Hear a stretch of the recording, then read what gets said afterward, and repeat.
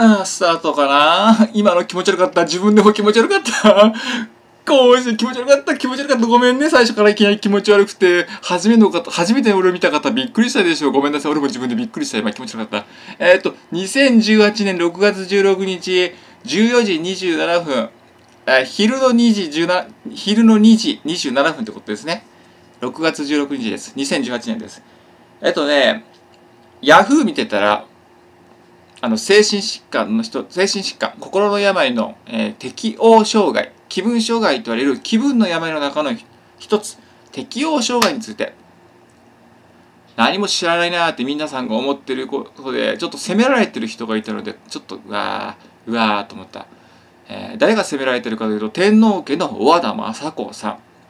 わっちら私らの国の総大将の、えー中のうん。奥様ですね。あっちらの。あっちらのボスです。本当のボスです、えー首相以上の存在ですな。まあ俺たちのあっちらの国の話。ああもううまく話せないな。よし行くぞ。でだ。ヤフーニュースにね書いてあったことがねちょっと待っててね検索するから。俺が書いたコメント。まず記事がね、雅子様ご成婚25周年で会見を開かなかった本当の理由っていうね、記者の主観、記者の憶測で書いてることに対してね、えーみんなコメントが荒れてたので、俺反論書いたの。ちなみにこの動画テイク2なのよね。テイク2。なぜかというとテイク2。とにかくテイク2なのよ。だからちょっと、ちょっとだけ少しいつもよりスムーズなのね。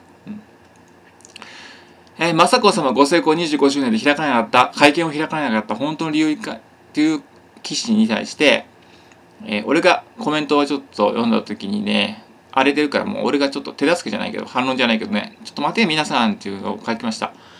なんだこのコメント欄は、記者の憶測を雅子さんがどうたらと非難する人たちはってね、雅子さんは精神疾患なんでしょと。経験がないと分かんないってばって。非難するなよ。自由に書けるし、発言もいいが、雅子さんは何も言ってないし、記者の憶測だしと。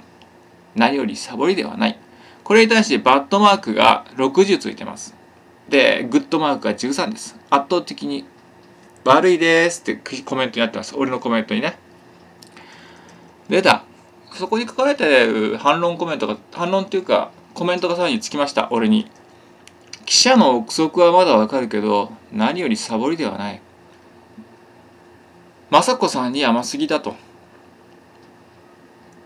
えー今年の冬で療養に入って15年です。その間、バカの一つ覚えのように温かく見守れと言い続け、国民は黙って見守ってきた。セカンドオピニオンを受けることもなく、なんとか医師の、ここはあえて伏せます、の医師の助言通り、できることだけをやるのが治療と、お遊びは解禁。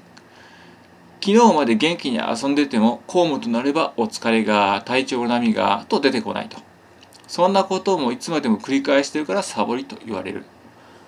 眞子さまの婚約者への警備費や佳子さまの留学費を税金のを無駄に使ってと大騒ぎだけれど、ご療養中の雅子さんが使っている洋服費、被服費か、こそが大きな無駄なのでは？西洋ロケでは新作のブランドバッグ、宝飾品を身につけ、皇太子は3列目の荷物。荷物席。精神疾患だからといって好き勝手する人をいつまでも温かく見守らなきゃならないの。ちょっとこれよくわからなかったから、ちょっとよ、うん、読むのが引っかかった。西洋ロケではって、そういう言い方するんだよ。なんかよくわからんけど、西洋ロケって書いてある。あと新作のブランドバッグ、宝飾品。確か天皇家って皇太子は3列目の荷物席。これ別に家族のコミュニケーションだからどこの席に座ってもいいんじゃないかなと思うし宝飾品を身につけてても宝飾品って天皇家って確かよく分からんけど国の財産だから結局これって中でぐるぐる回ってるだけで税金の無駄ってほどじゃないんじゃないかな。大した金額もしないだろうし何より。うん。俺たちが住む世界と全然違うからねあの世界。あのブランドバッグ買おうが宝飾品つけようがたかが知れてるからね金額がおそらく。売るわけじゃないからねそのブランドバッグとか。でこの方が書いてる方また本当か嘘かまた分かんないのよね。本当にブランドバッグの新作をつけてとかも宝飾品を身につけてとかも身につけたとしてもあれってじゅんぐりじゅんぐり家族同士でほら下にちゃんと回っていくし誰かに売るものじゃないからねどっかのお金持ちみたいなその売買されるようなものじゃなくて国の財産としてなってるからね。うん。とにかくこういうこと書いてるな。まあお遊びはお遊びは解禁。昨日まで元気に遊んでてもってこれ多分テニスとかのこと軽井沢とかのテニスのこととか書いてらっしゃると思うんだよ。お遊びっていうのはねパチンコとかじゃないだろうからね。パチンコとか競馬とか競輪とかじゃなくて天皇家の方のお遊びって言えばまあよくテニスとかスポーツとか軽井沢で西洋とかねなんかそういう涼しいとこでね、まあ、クルージングってボートでどっかに行くこともかもしかしたらあらいらあらあるのかもわかんないけどとにかくこれいや普通のことだよ。お遊びというより気分転換だからね。で国の国家のさあの行事とかに参加する参加しないっていうのがなぜできなくて遊びができるのっていう遊びというかこれ家族の団らんとか家族のリフレッシュだからこれストレスたまんないよね家族といてもストレスたまる大変だっていう状態だったらもうね離婚するしかないしもう国日本から離れた方がいいくらいのレベルで悪化してるからうんこれができるってことは家族と一緒に旦那さんといることによって皇太子さんといらっしゃることで心が落ち着くってことは夫婦間の仲がすごくいいってことだしいいことじゃん。あの心の病の問題の一つがえー、大切に思うこと重大だと思うことこそストレスがたまるってこと。つまりは反応するってことね。だからテニスとかリラックスできることはやっとできるようになったと。そしてそれができるからこそ次の段階に進めると。遊びができるから仕事ができるってわけよね。よくわからない人がいると思うけど遊ぶこともできないような体調とかリラックスができてもしないような体調で仕事をしたり、えーはできない。みんなそうだと思うよ。誰かに飲みに誘われて遊びに行こうよって言われて、いや、きついっていうのに、そこで遊びに行く、友達とかと遊びに行くとか、ちょっとそこら辺でビデオを見るとか、レンタル絵とか映画とか見るっても、いや、きついっていう時に、果たして仕事に行けるかと。行けないでしょ。いや、多分想像がみんなできてないんだよ。だって経験ないはずだもん。病気に対して。経験がないはずだもん。だから、サボりと言われるってそう国民の大半が適応障害ではないからね、うん、グッドマークがついてるこの人の意見には。だからうん。眞子さまは婚約者への警備費や佳子さまの留学費を税金の無駄に使ってって騒ぐ人もいるんだね。まあ考え方もそれぞれで、うん、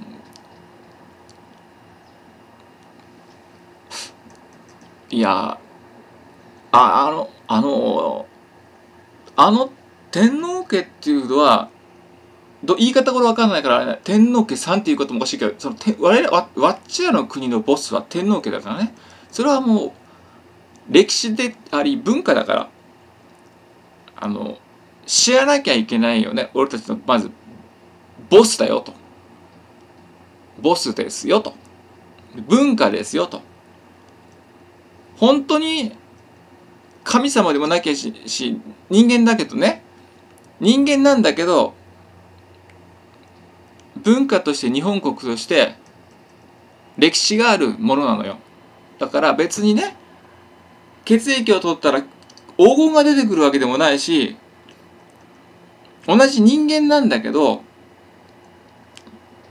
王様なのよそれはもう文化なの日本の中の文化なのだからイギリス王室とかチャールズ皇太子とかと同じように文化なのよね。そこわかるかな？皆さん。わかるよね？だから眞子さまが婚約者ができたら狙われたりもやっぱするわけさ。そういう税金の無駄だって思う人とかそういう日本にボスはいらない王様はいらないっていう人たちに対して攻撃を加えることもあるわけさ。まあ生活が苦しくてそんなのイライラする当たりつらしてやる八つ当たりだっていう人もいるわけさ。だから警備することもあるわけさ結婚相手になるわけだからそれはもう狙いやすいからほら八つ当たりの八つ当たりのね対象になっちゃってするからで俺たちは別にね神様だ神様だ天皇家は神様だって別にしないけどあの心の中で思ってるわけよ。あ俺たちのボスはあの人だ。あの人たちだなって、えー、歴史的なもので文化的なものでね。うん。なくしちゃわなくても別に構わないんじゃないのっていう。うんというかあった方がいいよねと。コロコロコロコロ変わる総理大臣がボスというかそれとも歴史あるもの文化がある天皇家っていう言い方しかできないけど天皇家っていう他に言い方ないのかな？ちょっと失礼な感じがしてね失礼な言い方がするのよ天皇家って呼び捨てな感じがしてね言い方がよく分かんないからあんまその教養がないから俺教養がとにかくないからしてあみんなに言うとこれ教養がありません。教養がありません。教養がね。だからうまく言えないんだけどコロコロコロコロ変わる内閣総理大臣を俺たちのボスとみなすか文化的なボスとみなすかね。それとも歴史ある人たちをボスとみなすか？ボスと見るか？俺は天皇家をボスと見ます。つまり歴史ある日本の伝統の中心であると。俺は思ってます。なんなこれは別に不思議なことじゃなくてみんなそうだと思うけどコロコロコロコロ変わる。コロコロコロコロコロ。コロコロコロ変わる内閣とか総理大臣とか政治家たちをボスって見るのもね違うでしょと、うまあ、まあ見ていいよ別に内閣総理大臣はボスとしてね、うん、見ていいよ別に。変わないよ。見なくてもいいしね天皇家をね。まあ、そういうわけで眞子さまっていうのは警備警備費とかお金がの無駄遣いとか佳子さまの留学費は税金の無駄とかまあ言う人もいるんでしょう。これと比較して話の中でねご静養中の雅子さんがねまあ副副大とかまあ要は軽井沢とかそういうところの安全にしてるところのまあなテニスコートとかレンタルしてるところとかなんか分からんけどそういう維持費？宝飾品？あと警備費とかか護衛がつくからあの、狙われるからね。八つ当たりする人たちから。うん。俺はだ教養がないからまあ、天皇家のことにさよくわからんのだけど、心の中では、あ、ボスだろうねと思ってる。それは、やっぱりね、バラバラになるからね。日本人が。まあ、バラバラになってるけどね、もう今。あ、うまく言えなくてごめんなさい。だから、これが言いたいのは、なんていう無理解極まりないんだこれ俺も言われてんだよなんで遊ぶことできたりネットできたりゲームができてできるのに働くことができないのってうんあの遊ぶことができない方がね働くことなんかできないよ。俺だってギリギリで働くギリギリでパあの遊ぶことができてるからやっとギリギリで遊ぶことまでできるようになったわけよ。ギリギリなわけよ。うん、でやっと遊ぶことが普通にできたら退屈するからあ退屈だなと思ったらあ働いてみようかなっていう段階に進むわけだと思うのよね。だから彼らが言ってるのは、まあ、サボりと言われてしゃあないよねって仕方ないよねって言ってるけどうん、宝飾品って言っても豪華な宝飾品身につけてるのはまあ王族としては当たり前だしそんなそ何百億とかするものつけないしそれそれもそのその宝飾品とか全部ねそもそもあのこ国のものだからね。売ったり買ったりとか彼らが彼らっていうか天皇家ができるものじゃないしそれにものすごいストックがあるからね宝石だってそれを日にちを変えて付け替えることでね俺たちから見るとまあ新しく買ったとかふうに見えるわけよ、まあ、バッグが新作のブランドバッグってなるなら、まあ、お買いになったのかもしれないけどうん、いいんじゃないかなバッグくらい買っても。と思うよ。もううまく言えないけどここに書かれてる体調の波がとかお疲れがとかいうのは当然だと思うよ。大切で思うことを思うすごくプレッシャーがかかることに対してストレスの強さで、うん、真面目ゆえに本気で考えるゆえに公務がなかなかうまくいかない。っていうのはあるよね。あるでしょ。同じように精神疾患気分障害の人分かるでしょ。いやこれは説明難しいけどな。言いたいのはうん甘すぎとかじゃないんだよ。あれだけ優秀な人たちをあの普通に叩かれるってこと分かるしね。本当に甘えてて本当にサボってるならば普通に分かるでしょ。ちょっとだってだってちょっと出るぐらいでしょ。俺たちにとってはちょっと出るぐらいそれに出ないってことはそれが相当な壁になってるってことだよ。つまりストレスがすっごい強くてもうきついわけよ。これはね俺もそうなんだけど床屋に行けなかったりシャワーが見えなかったり家から 100m 出るのがやっとだったりの時があるので寝たきりの時だってね。家から 100m 出てよしよし今日はここまでっていう訓練をしてきたわけよ。家から 100m だよ。家から 100m だよ。それが一日の仕事だよ。それが何ヶ月か分かんないけど続いたような気がする。もう忘れたけどね。思い出したくない。そういう訓練をして、ね、自分の街を行ける範囲を広げていったのよ最初の頃。最初のパニック障害っていうになってから数年間はそういうことを地道に繰り返して活動範囲を広げていって最後にあ最後って今の段階ではもう車で100キロ離れたとこにも行けるようになったけど当時はね家から100メートルとか街中をうろちょろするとかレンタルビデオを返しに行くとかその途中の車の中で発作を起こしたりねしてたわけよ。でも今はもう発作もほとんど起こさずに車でなかなかあの行けることができるようになったわけ。レンタルビデオとかもどこでも。大抵のとこはね。まだ九州から出てはないんだけど熊本だから。九州から出てはいないんだけどもしかしたら簡単に今今だったら九州から出ることができる。でも当時は家から 100m が精一杯だったわけ。で彼らがちょっとしたこと公務のちょっとしたことと思ってるかもしれないけどテニスとか旦那さんとかと皇太子さんとかと一緒にいる時間っていうのができててリラックスできるってことは素晴らしいことだよ。旦那さんが理解があるってことで皇太子さんが理解があるってことで、うん、夫婦仲がいいってことだもん。やっぱ違うよね皇太子様は。もう差はつけちゃうから。知らないのに。教養な教養がないから俺は言い方が分かんないけど皇太子の意味もよく分かんないんだけどね。皇太子の意味もよく分かんないんだけど皇太子様っても言っちゃうよ。ほ俺ほとんど人に様なんかつけないよ。皇太子様すげえよ。もう分かってるってことだよ。見てきたんだろうね苦労を。自分が愛する人が苦しんでるのを見ちゃったんだよね。それはもう見ちゃったら抱きしめるしかないよね。分かるしかないよね。それができないからまあ世の中の夫婦とかカップルがうまくいかなかったりするんだよ、うん、だから皇太子さんすごいよ。やっぱすごいよ。俺たちのボスはねすごいってことだよ。で分かんない人は分かんないのやっぱ。天皇家の中でって分かんない人いるし世間だってこうやって分かるふうに言っちゃうんだうん。あんまりだよね。元気に遊んでて思って遊べるってことはいいことだよ。本当いいことだよ。寝た気になってたと思うよ、うん、言葉にか言葉の端々に俺失礼なこととかね言ってるかもしれないけど俺が無教養だってことで許してください。あの言葉の言い方がわからない。天皇家とか言ってるけど言い方が他にわからないんだよ。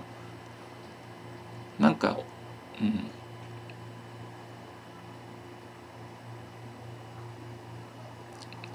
これなんだ？おまけに衣装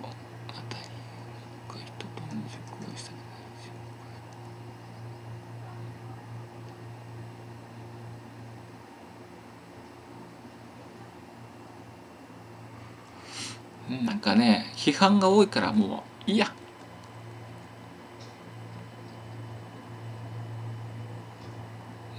そういう感じかね。なんかよくわからんけどみんな叩いてるな。おまけに衣装当たり屋をしますからね。おまけに衣装当たり屋目下目下の人と同じ服を仕立てて恥をかそうしますからね。つまり雅子様が自分の目下目下っていうのかな？これ目下っていうのかな？の人と同じ服を仕立てて恥をかすといういやらしい行為をするってことで言ってんのかな？目下か目下か分かんないけど地位や階級に関係することなんだろうね。自分より下の人つまり、えー、雅子さんの下についてる下につついてる立場のような人がいるんだろうね。俺は分からんけど。家族関係か何でもいいけど、まあ、とにかくおまけに衣装あたりやしますからねって書かれてる。これはつまり批判的なコメントなんだろうね。そこにグッドマークまたついてる。意味が分かんねえ。俺だけ俺叩かれてるってことだね。俺が書いてることに対して。お前お前何言ってんだよ。雅子さんかわうなよ。雅子さんこういうことしてんだぞってことをみんな説明してんだよ要は。コメントなんでおまけに衣装当たり屋しますからね。目下の人と説明文でカッコつけて書いてある。衣装当たり屋とは目下の人と同じ服を仕立てて恥をかかす行為をもあの衣装当たり屋ということらしい。狙ったの？たまたまなじゃないの？でデザインって俺たちから見て分かんないけど実際かぶることがあるんじゃないの？全く同じ服作れ。あいつと同じ服作れって言ってわざわざ当てつけにする？うんあんまねそういうことしないような気がさって目立つからね。何も燃えてんのって話なんじゃん。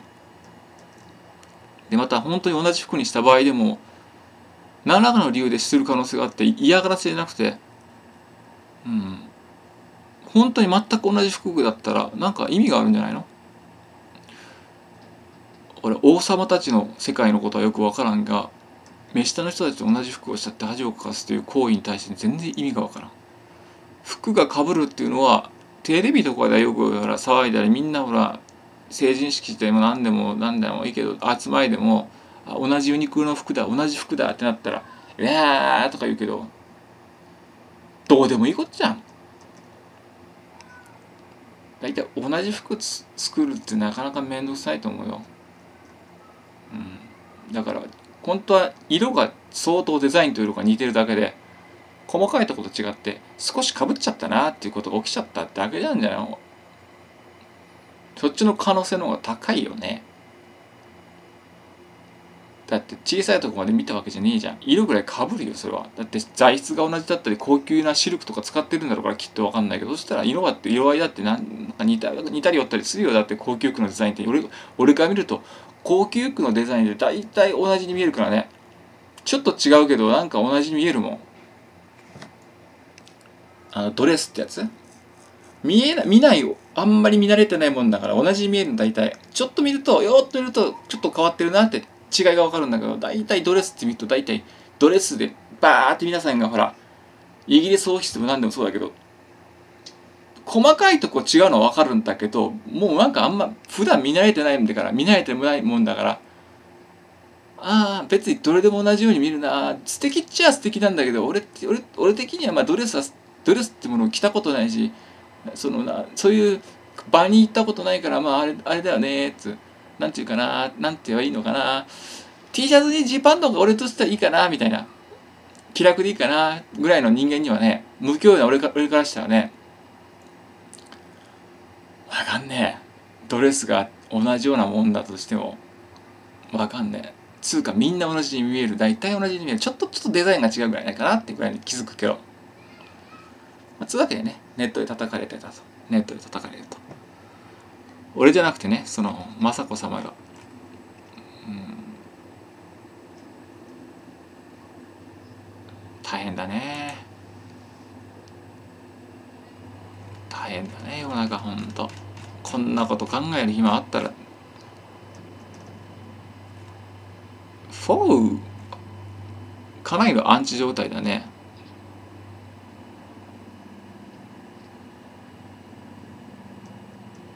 ふん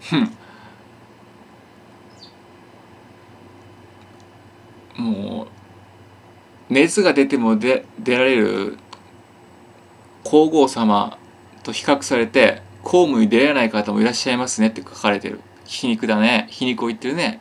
皇后様が熱が高熱が出てもね頑張って出席される仕事があったと。なのにねあのその何分の1の大変さのことって言って公務に出れない方もいらっしゃいます。ってこれなんで批判こんなに書かれてるんだろうねやっぱ分かんないんだよなみんな。いや適応障害って言われてんじゃん。うん。分かんないんだろうな。まあ今日はこれで終わろう。うん。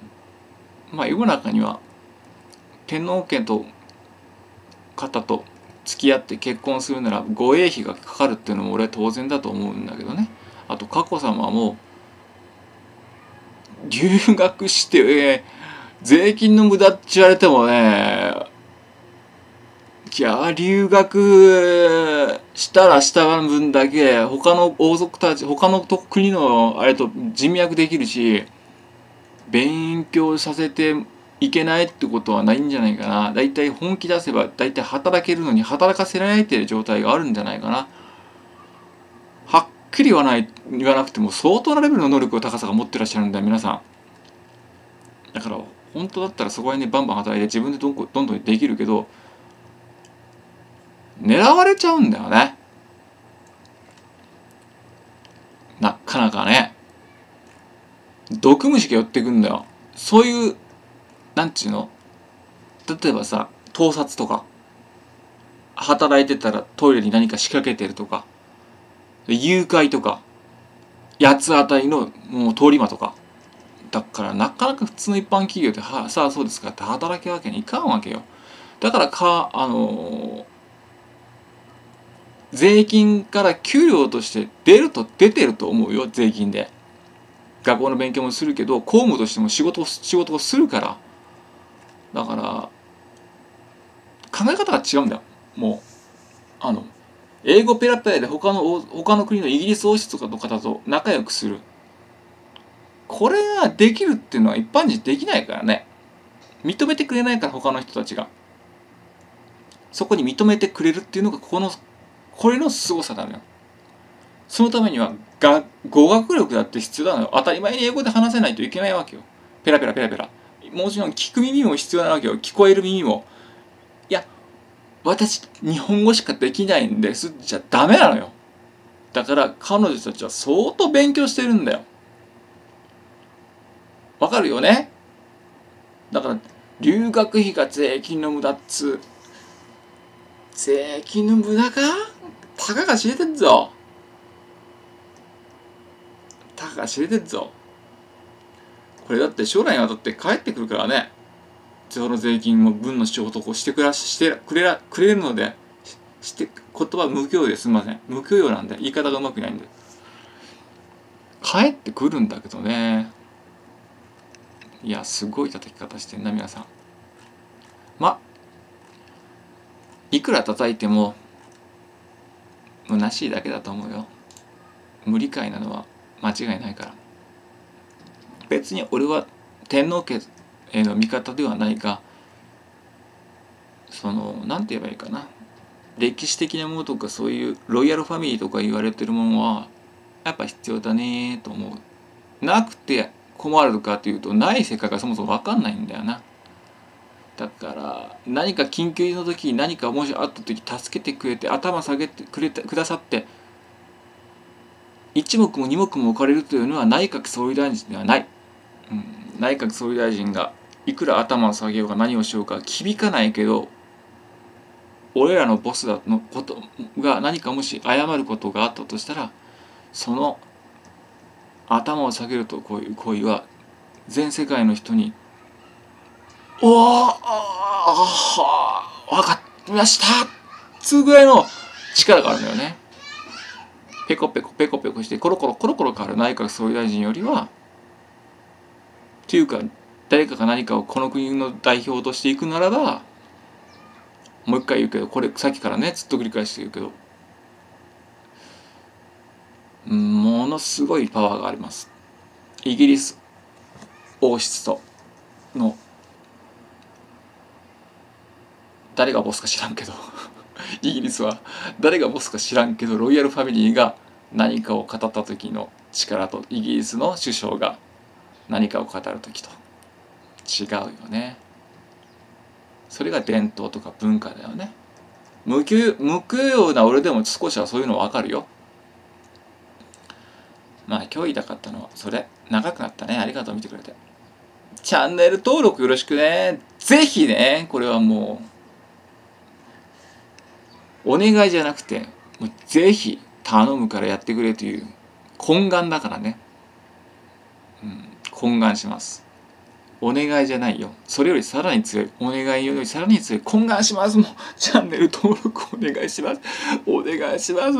1000人行きたいんです。今は800人なんです。というわけでお願いして終わろう。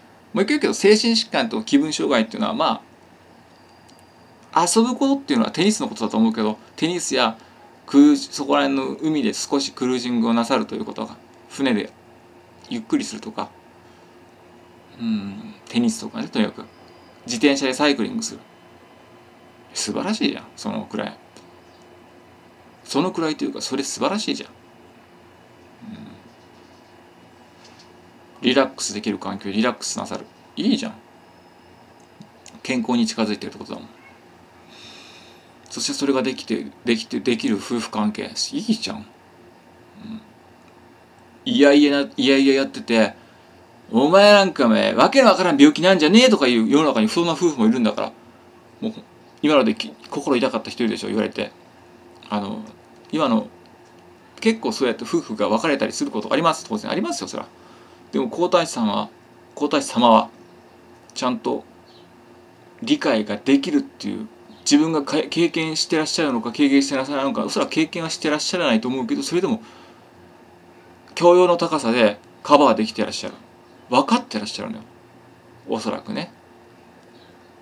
まあ多分少しは経験もあるんだと思う。自分がそういう偉い立場に生まれてしまったおかげで苦労がなさってると思うのよ。だからそのストレスもやっぱ分かるはずなんだから高い許容と高い苦労。まああれ高い低いじゃないんだけどそういう経験が多分あるはずなんだよねきっと。悩んだ経験経験があらっしゃるあらっしゃるあらっしゃる。ごめん言葉遣いもおかしいや。あるんだと思うよ。理解できるってことは。裏で普通だったら言う多分言うからね。恥かかすんじゃねえよお前って。そういうことがないから仲がいいってわけだからねきっと。じゃないとテニスなんか普通にしないもん。テニスとか一緒にねサイクリングとかしないと思うから。もう私の人生最悪と思ってサイクリングしてたら笑顔なんか出ないでしょ普通に。いや行かない私サイクリングやあなたと一緒にってなるでしょ。でも一緒になさってるってことは一緒に散歩とかなさってるってことはまあ会話もちゃんとなさってコミュニケーションうまくいってるってこと。いやーしかしマイナスポイントがいっぱい俺につくとは思わなかったな。やっぱ分かんないんだなみんな。結構俺もねネットで結構言われてるんです。私も40歳なんですけどで遊んでます。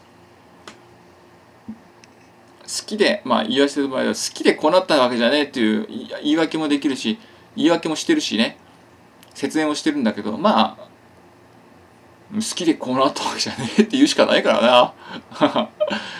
で、これを否定してもしゃあないからね、俺は俺だ、これは、俺はこうなんだよって。別に誰に対しても恥ずかしいとかないし、劣等感になって、すみません、自分こんなもんで、こんな人生ですみません。自分こんな人生ですみません。自分、自分を自分こうなんですよ。自分バカなやつなんですよ。自分ダメなやつなんですよ。って言って卑屈になって生きる必要なんかなんである？でって開いてふっとして俺は俺ですよ。胸張って俺は俺だよって。やっていいんだよ。みんなやっていいんだよ。君もやっていいんだよ。問題なく君は君で問題なんだよ。胸張っていいんだよ。同行相関入れて、マジかよ、お前、無視力だってバカじゃないの、お前、何してんだよ。って言ったら言われた瞬間に、キラリンって、え？何？君に迷惑かけたの？なんか、じゃあごめんねって。俺が、俺は、これだから。